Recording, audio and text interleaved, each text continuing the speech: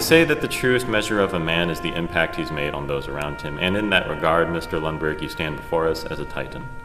If we are the best in the West, you certainly are the best of the best. I want to thank you for all the support you gave me back then because now I'm a professional musician and a teacher just like you and a happy, happy, happy person. Thank you.